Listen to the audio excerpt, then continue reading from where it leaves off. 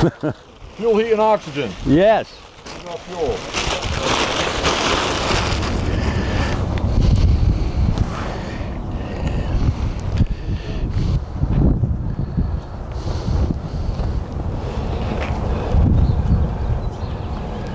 Now we're getting efficient.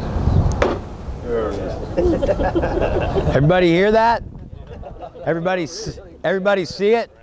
Uh, it wasn't an intense, hot burning 2,000 degree uh, sudden occurrence event. It was just we took some packing paper, some brown paper, some tissue paper, and threw it in there. It burned for you guys saw it.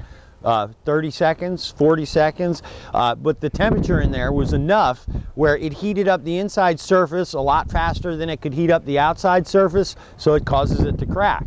Uh, that's why clay liner in a chimney, uh, it's not intended for combustion. It's just intended to vent the flue gases from the outside. So if someone has a chimney flue fire, it's likely that the chimney tiles are going to crack. And you'll see as this crack closes up, uh, sometimes these tiles actually explode when we're out here doing the demonstration, but this is actually good that it's going to close back up and you'll look at it and you'll be able to say, okay, if that flue tile's dirty a little bit on the inside, we might not even see the crack uh, it close up and just disappear. Clay liners are not intended to contain combustion.